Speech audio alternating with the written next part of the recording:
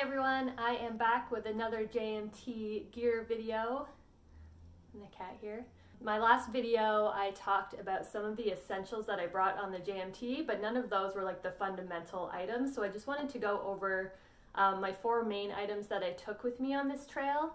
So backpack, sleeping bag, sleeping pad, and tent, and hopefully they can help you if you are looking for any new gear, if you're doing the JMT. Uh, talk about the pros and the cons of everything. By no means am I a gear head. I am not that advanced. I don't know most of the technical stuff. Uh, I've been backpacking for six years now, which I feel like is long enough to like finally have gotten a handle on like all my preferences for the first time this year. Started six years ago getting basic gear from Amazon. Not sure if I wanted to stick with it, like a $70 backpack from from Amazon that didn't fit. Uh, a $30 sleeping bag that I had no business buying because I was freezing, and a $12 foam sleeping pad that I threw away the second I had finished my last night in Yosemite. But you can only go up from there. So, yeah, this is where I'm at with gear and the gear that I took on the JMT.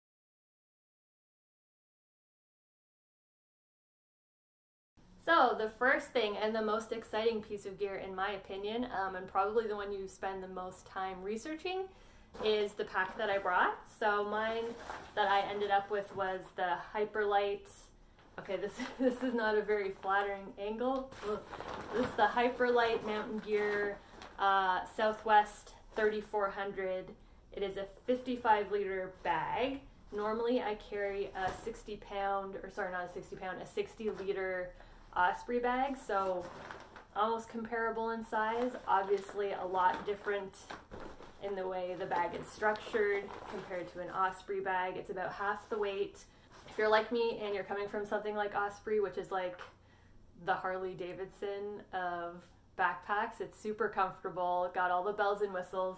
If you're used to all the nicely segmented compartments of that, this bag can be a little bit much to get used to. I like being really organized on the trail. This just forced me to organ- be organized in a different way since it is essentially one giant. What? This is this is all just yeah one one giant pocket. It does have a little bit of a sleeve for a bladder if you're going to bring a bladder. I just use that as a pocket as like my only interior pocket. I didn't take a bladder with me. Um, but overall, I really really enjoy this pack. As you can see, it does get dirty quickly, which, I mean, you're in the backcountry, why do you care what your bag looks like? Um, you can get the black one if you care about that. It has one giant pocket in the front for all your goodies, anything that you want reachable for that day. I would put the day's food in there. Also has two fairly decent sized side pockets that we just put water. Oh, there's still sunscreen in there from the summer.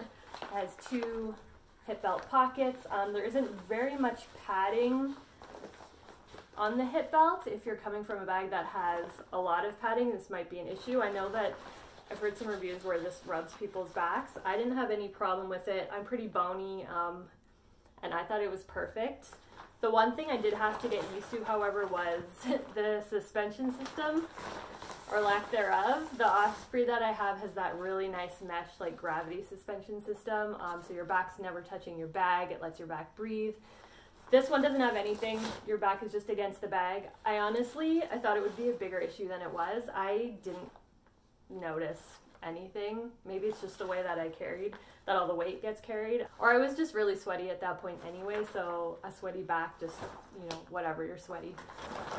I obviously this is more of an ultra light bag. Again, I think it was two pounds. You can carry, I think I, I don't think I exceeded 30 pounds. Maybe on our resupply days it would be pushing it. The website says it can carry 40.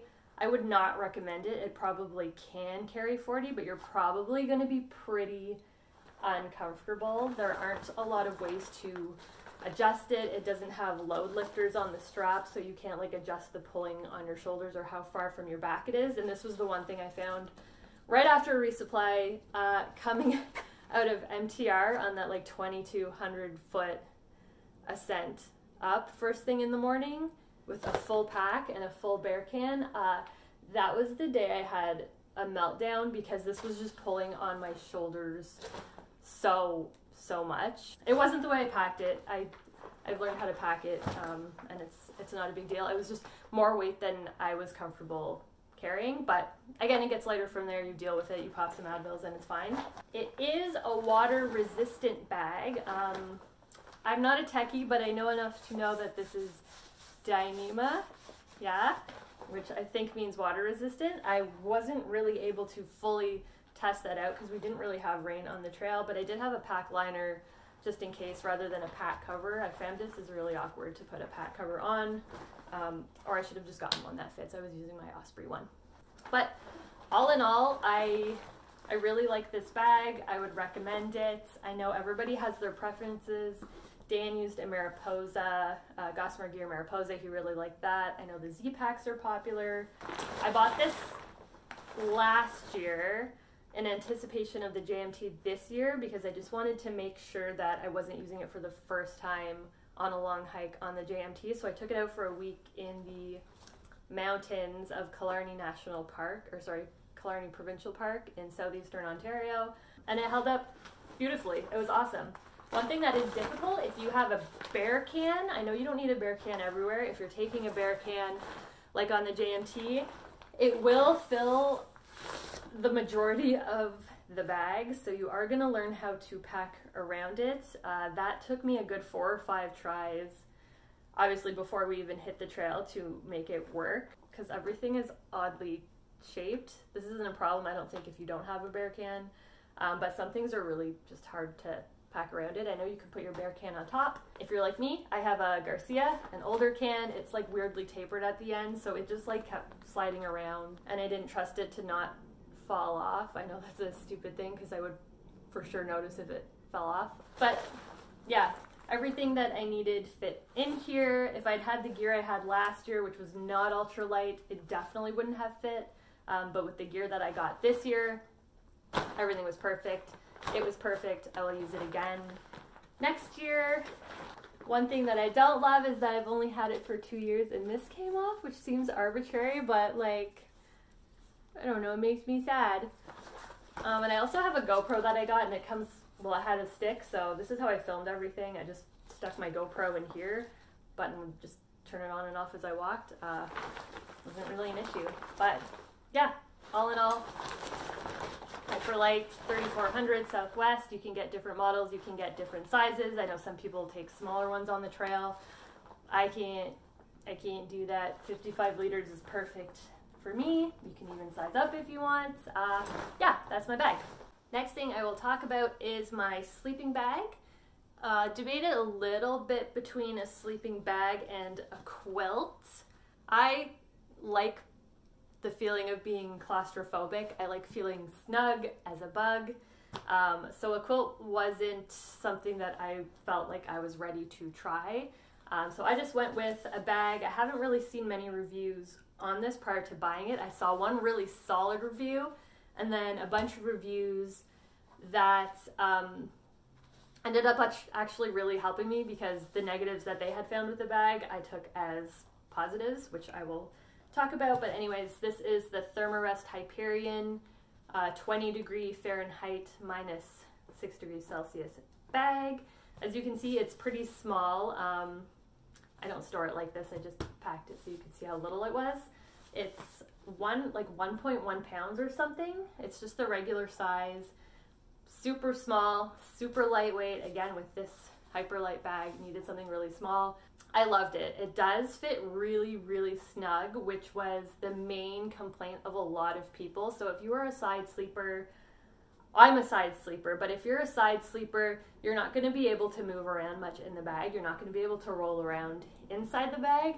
If you go on your side, the bag is coming with you. The pro of that is that you don't get any cold spots. Uh, all the bags I've had prior to this one, usually I just I take synthetic bags, but they end up being huge on me, and then I get cold spots near my hips and near my feet. No matter what I put in there, sometimes I try to stick my puffy coat in those spots to keep them from getting cold. This just meant that I didn't have to worry about that at all. The whole thing was warm.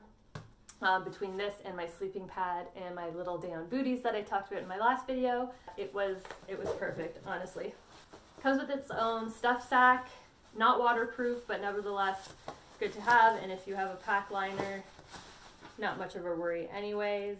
The other good thing about the sleeping bag that I like is if you have a Thermarest sleeping pad, it does have straps um, that will go around the pad so that this doesn't slide off. I tried using it with my sleeping pad and it was it was fine. The only annoying thing was these straps kept coming off more than anything. Uh, so I don't think the other ones are even on there right now. But yeah, it's great. I wish it had a collar here. That's probably the only thing I would change about it just to keep a little bit more air in. The zipper is really good.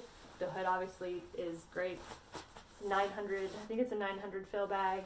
Got the drawstrings. And the one nice thing about this, I know that Western Mountaineering and Feathered Friends and Enlightened Equipment, those are all really, really popular brands. And Dan got a Western Mountaineering bag, but they pack so huge. They, they pack enormous. It was like three times the size of this one. Um, and also the price, I, those were, I think his came to like almost $800 Canadian.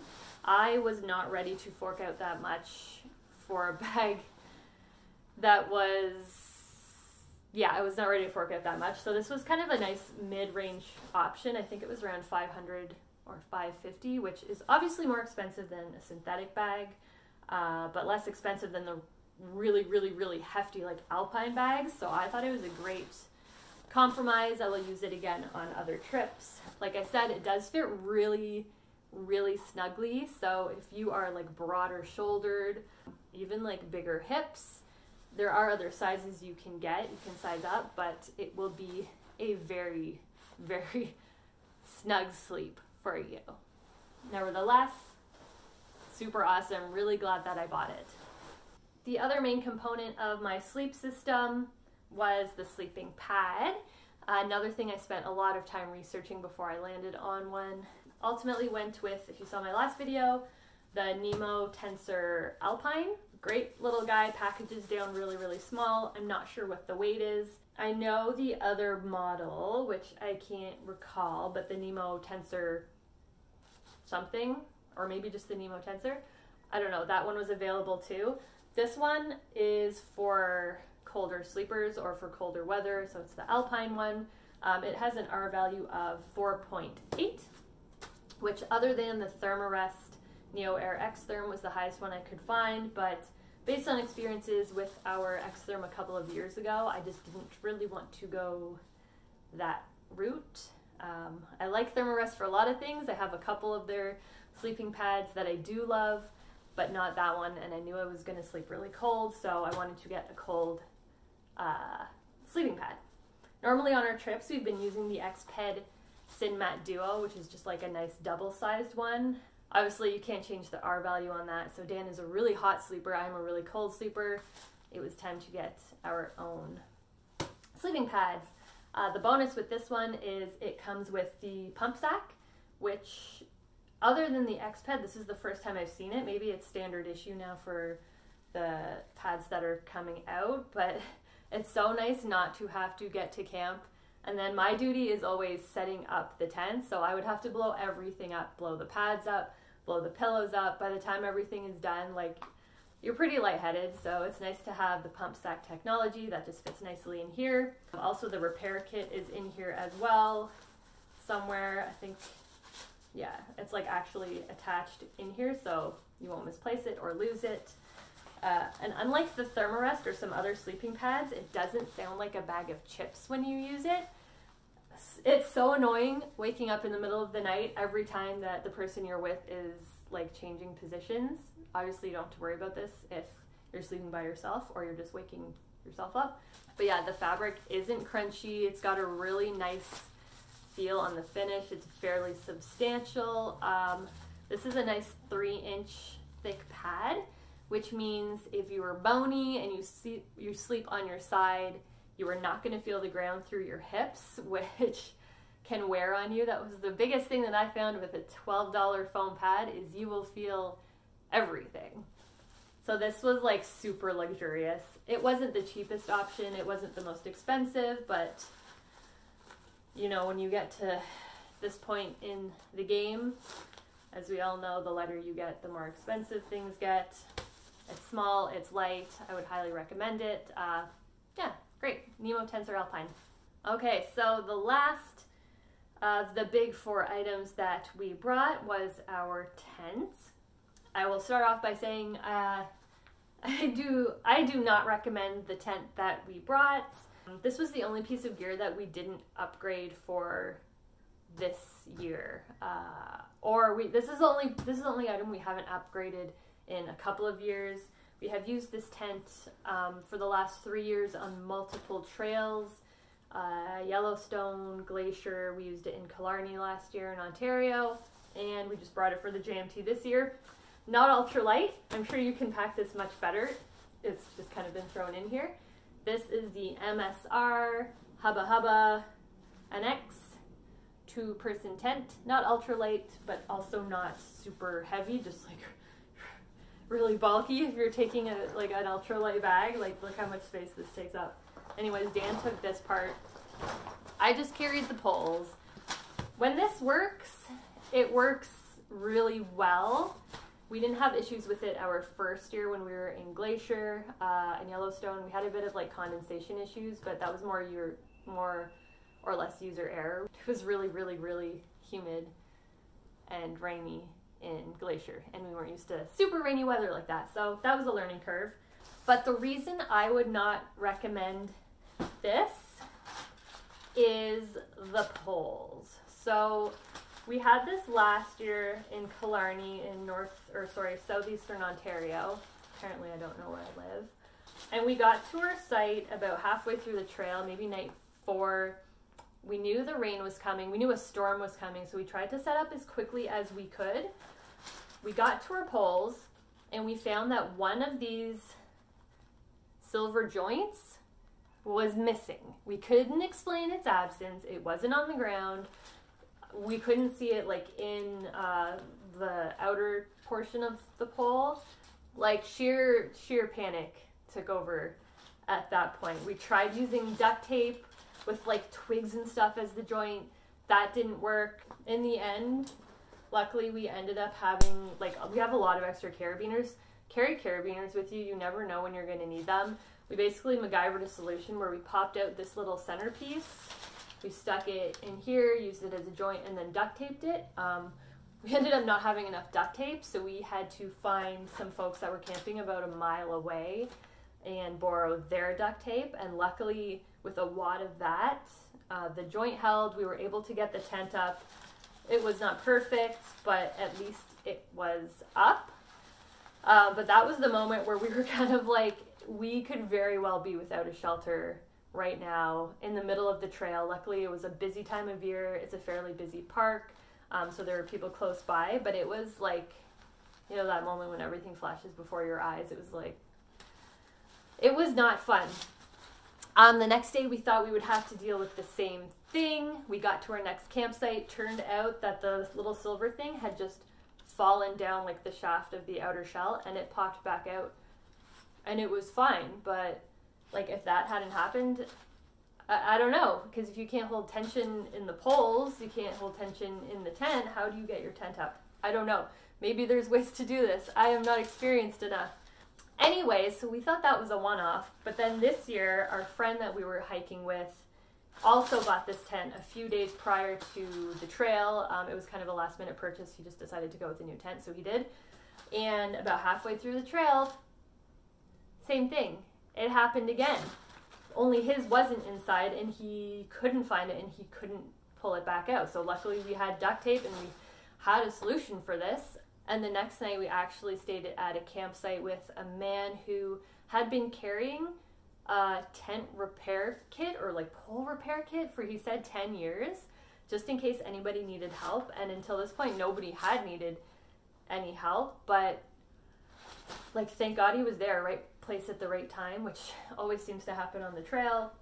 Lesson learned, I guess, carry a repair kit, but bigger moral of the story, I would not trust this tent if you were not, oh, well, I just wouldn't trust this tent. For me, it's not worth it to have something like this that has now happened twice to two different, uh, two separate tents. No, I would not recommend it. Again, it's good when it holds up. Next year, we may go the route of well, I don't I don't know. I don't know if we'll get a freestanding tent. I don't know if we'll get one of the tents uh, like the Zpacks ones, where you use your poles. My only worry with those is wind. We had some pretty extreme wind on the JMT, and I don't know how do those hold up when it's really, really windy. Do you lose a pole? Does it fall down? I don't know. This did help. This did hold up very well in the wind. I will give it that. But for the size that it is, for the issues that it has, I would not recommend the MSR Hubba Hubba NX, unfortunately. Okay, so I guess I can talk about one more item, which is just as crucial as all of these other items, which is footwear. So normally on the trails, or at least the last couple of years, I have been using the Salomon boots, GTX, something, something, I don't know. They are waterproof, they're really lightweight. I've had no issues with them. For this trail, wanted to go the route of trail runners. If you've seen my other videos, my foray into trail runners did not go as planned or expected, but that's okay. I think it was more or less user error on my part and not the actual product itself. I actually really like these shoes, so I ended up with the Altra Superiors. A lot of people like the Lone Peaks. I just felt like I was wearing like flippers in them. They were way, way, way too big. These ones are a little narrower. Uh, I think they are specifically cut for women, so through the mid area here it's narrower and it still has the wide toe box, which is really nice for like splaying your feet, uh, your toes on the rocks and everything. Overall, a really great shoe. I tried a lot of different brands before ending up with the Altras, but I found them to just be like a really nice amount of cushion that didn't seem to compress too much. Maybe it's just because I'm lighter, but they held up fantastic through the whole trip. Obviously, like a little bit of wear can be seen on them from going over the passes. A little, yeah, not not in the best condition, but overall held up really, really well. I trained for about four months in these before doing the JMT, training to the best of my ability. In southeastern Ontario, we don't have mountains, so I did what I could. It obviously did not prepare me enough because I had major what I thought was ankle issues at the time with these. Okay, so turned out not to be an ankle issue because I had this pain for about a month after I came home. Apparently, some people have an extra bone right here in their feet. Not everybody has it, just some people have it. It's literally called an accessory something bone. Anyways, uh, double check maybe if you have that bone because it was just rubbing a weird spot on the shoe that was causing me immense bruising and so much pain. Like I said, it was hurting for like a month after I came back.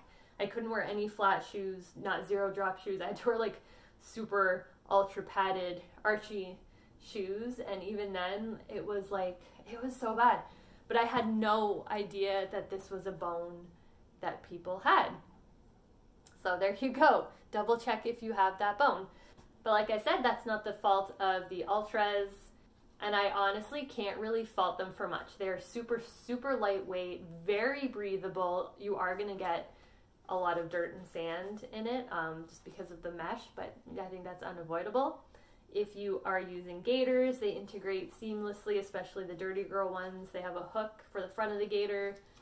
They velcro right into the back, super, super easy yeah, I don't really have anything bad to say about them. I will probably try to, well, I'll get another pair and I'll start sort of breaking them in slowly on shorter trails of varying terrain just to get my feet used to them. I will probably continue to wear boots in the meantime. I really do like these boots, they were great.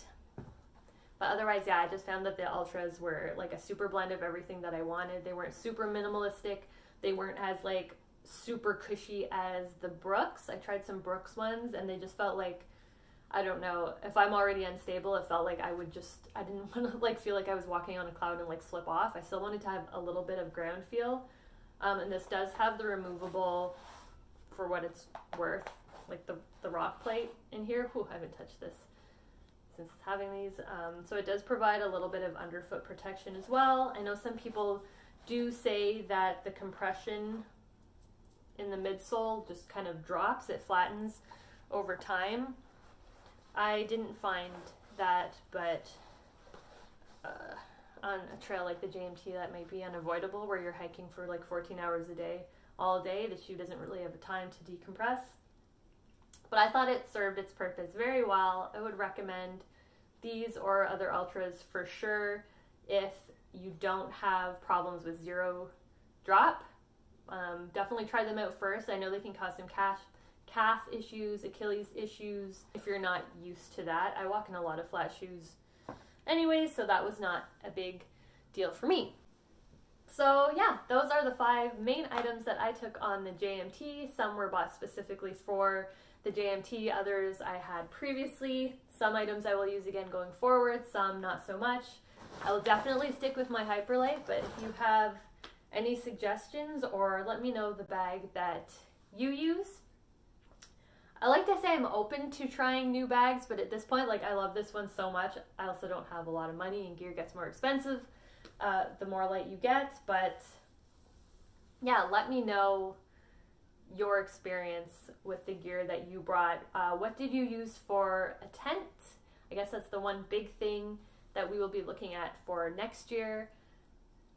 Has anybody used the Hyperlite tent? I've had such a good experience with this bag. I've had such a good experience with this bag that I wonder if the tent is also good, but I haven't really seen anybody with it. I've seen a lot of people with the duplexes. So if you like any of those, have any recommendations, let me know. Hopefully some of this gear can help you, whether you're doing the JMT or another trail, or if this just helps you avoid getting the MSR and having giant failures. Again, maybe user error on my part. Now I know to carry all the repair kits. Um, yeah, so thanks for watching. See you next time. Bye.